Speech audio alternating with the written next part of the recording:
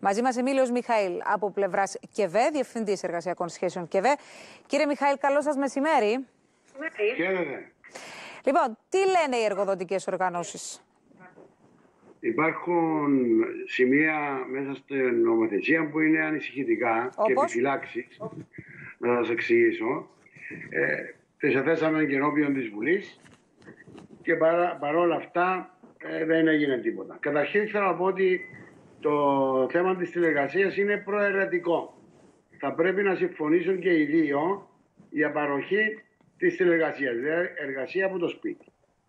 Εδώ υπάρχουν τρία-τέσσερα σημεία τα οποία θα, εξ- θα εξηγήσω. Πρώτα είναι το, το δικαίωμα της αποσύνδεσης. Ναι. Εκεί ο νόμος λέει ότι έχει το δικαίωμα ο εργοδοτούμενος όταν τελειώσει το ωράριο του να μην απαντά σε καμία κλίση ή οπουδήποτε αλλού σύμφωνα με την εργασία του. Εδώ αυτό το σημείο είναι σημείο το οποίο καταρχήν συζητείται αυτή τη στιγμή στην Ευρωπαϊκή Ένωση μεταξύ εργοδοτών και εργοδοτουμένων.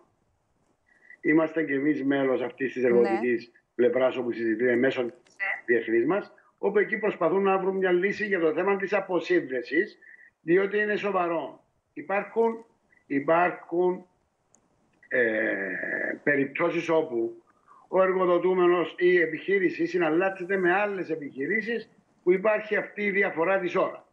Υπάρχουν περιπτώσεις όπου μπορεί να έχουν έκτακτα περιστατικά, όπου εκεί αν είδαμε φυσική παρουσία του εργαζόμενου στη δουλειά θα μπορούσε να γίνει μια διευθέτηση μεταξύ των δύο για να μπορέσει να δώσει τη εργασία του και πέραν του συγκεκριμένου του ωραρίου. Αυτό, το δικαίωμα της αποσύνδεσης με αυτές τις επιφυλάξεις, το έχουν δύο-τρεις χώρες το οποίο το έχουν εφαρμόσει. Ιρλανδία, Βέλγιο, Γερμανία. Άρα αυτό ήταν ένα πολύ σημαντικό στοιχείο τα οποία θα έπρεπε να λάβει υπόψη τη η Βουλή. Το δεύτερο, θέματα ασφάλειας και υγείας.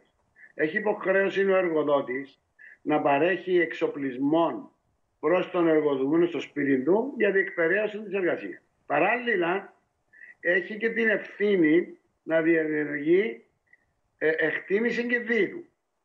Πώς θα διεργήσει η εκτίμηση κινδύνου, αν δεν είναι παρόν και ο εργοδότης στα εργοστατικά φυσικά μετά από άδεια του εργαζόμενου. Πώς είναι δυνατόν. Καλά, τι εκτίμηση ε, κινδύνου, κύριε εξοπλισμό- Μιχαήλ, ένα λεπτό. Ένα λεπτό. Τι εκτίμηση κινδύνου, αν δουλεύω από το σπίτι μου. Ακούω τη φωνή μου εντωμεταξύ, κύριε Μιχαήλ, αν μπορείτε να το διορθώσετε. Εκτίμηση κινδύνου σύ- σύμφωνα με τον νόμο σήμερα, όπως είναι, έχει υποχρέωση ο εργοδότης να προβαίνει σε εκτίμηση κινδύνου για να εξακριβώσουν κατά πόσο το εργασιακό περιβάλλον και ο χώρος εργασίας με φυσική παρουσία στα υποστατικά Ναι. του εργοδότη είναι σύμφωνα με τους κανονισμούς ασφάλειας και υγείας. Ε, Το ίδιο υποχρέωση θα έχει και τώρα ο εργοδότης Α. εάν η κατοικία του εργαζόμενου πληρεί τις προϋποθέσεις και το εργασικό περιβάλλον για να υπάρχουν πλήρη συμμόρφωση με τους κανονισμούς εργασίας. και τώρα τι, θα πηγαίνουν Είναι οι εργοδότες νόμος, να υφιστάμενο. ελέγχουν τα σπίτια των εργαζόμενων τους, δηλαδή; Όχι να ελέγχουν το χώρο εκεί, δεν Ε. είπαν ελέγχουν. Μπορεί ο εργοδότης, αν θέλει να έχει εργαζόμενο στην επιχειρήση, το οποίος μετά από άδεια, λέω, του εργοδοτούμενου για το σπίτι του. Ε, ναι. Όχι αυθαίρετα. Αυτές οι πρόνοιες υπάρχουν σε αρκετές χώρες στο νομοσχέδιο τους. Γιατί; Διότι ο εργοδότης παρέχει εξοπλισμό. Θα πρέπει να επιθεωρεί τον εξοπλισμό αν είναι στην κατάσταση την οποία του έχει δοθεί Ναι. διότι άπτονται θέματα ασφάλειας και υγείας. Αυτά είναι νομοθεσία, κυρία Σαββά. Και αυτά τα πράγματα θα πρέπει να λυθούν.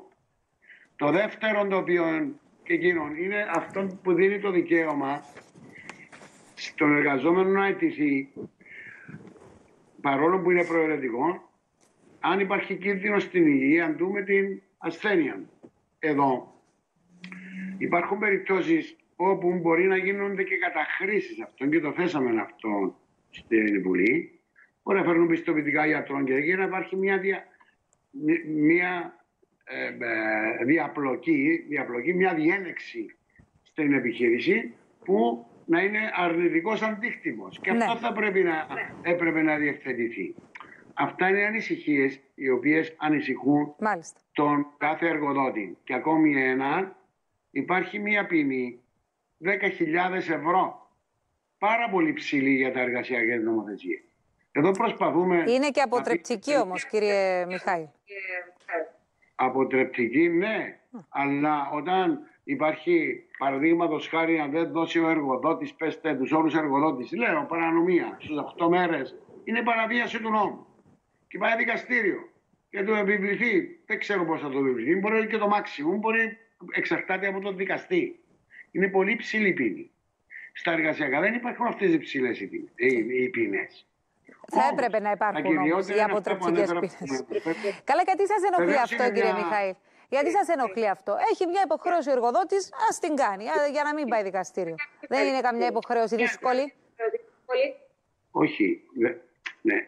Είναι σημαντικό, αλλά τα πιο σημαντικά σημεία τα έχω προαναφέρει. Ωραία. Τα θέματα ασφαλής Τα άλλα είναι υγείας. εύλογε οι ανησυχίες των εργοδοτών. Θα τα δούμε στην πράξη, ωστόσο, κύριε Μιχαήλ. Έτσι. Σας Μάλιστα. ευχαριστούμε πάρα πολύ. Να είστε καλά. Εγώ ευχαριστώ πάρα πολύ. Καλή συνέχεια. Πάμε